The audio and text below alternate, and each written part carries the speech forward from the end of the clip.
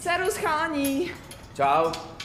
Hele, Ivetko, viděli jsme toho Lišku v tom pozadu a Tak není až taký úplný kokot, ne? tak jasně, no, ale je to takový nízkooktanový palivo.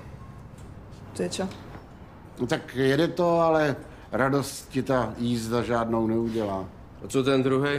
No, tak to je ultra kokot. Toho nemôžeš naliať ani do Trabantu. 150, Chalani, 151. potrebovala by som od vás pomoc. Není problém.